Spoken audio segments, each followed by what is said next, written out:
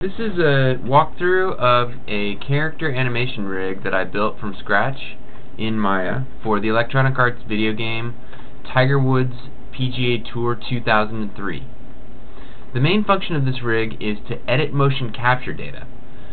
So the tools of the rig work the same way that a hand animation rig would, and by that I mean there are end effector controls for IK chains driving the legs and arms, and pole vector controls driving the direction in which the knees point and the elbows point. There are IK chains driving the location of the shoulder and you can rotate these objects to fix twist in the collarbone, etc. There are twist bones for the thighs and the forearms. And uh, the difference, however, is that with this rig, uh, there's a motion capture skeleton behind the scenes, and I'll show you that now. So if I pull my rigging to the side a bit, you can see that there are actually two skeletons in this scene. The bright red skeleton is the one onto which motion capture data is loaded. And then this black skeleton here is the one to which the mesh is bound.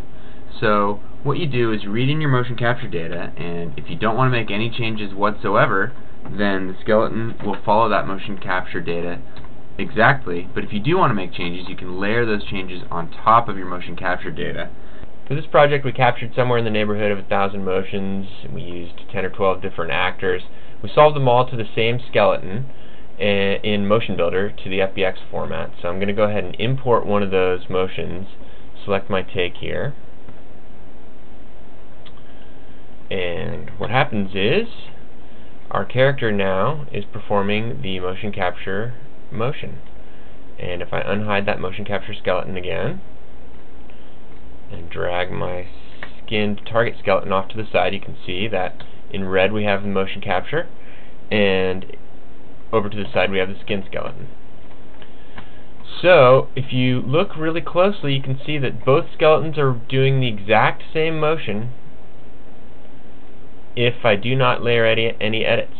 And the beauty of this rig is that if we wanted our character to, for example, stand up on one leg up on a bunker or something like that while he's doing this motion, we could edit our rig tools and then when we play the motion we'll see that that edit is layered on top of the motion. So, so I've loaded up one last example file here just to show off one more tool.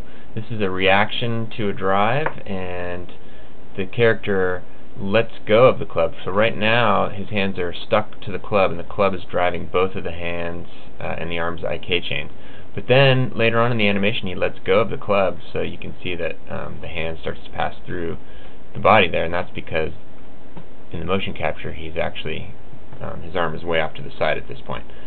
So the beauty of this rig is that you can actually blend the hands onto and off of the prop. So you would set a key for the hand being on the club, uh, and then when the character lets go, you can blend the data back to following the mocap, uh, and all will be well one last thing, um, in addition to allowing the club to drive the hands, uh, as is the case with the right hand here, right now I've got it set up that way, you can also with this rig actually have the hands drive the club, so I've got another set driven key on the club itself, and I can slide that over until it is lined up with the hand, and now whenever I move this hand, the club will stay in it despite uh, the motion capture having the club be elsewhere.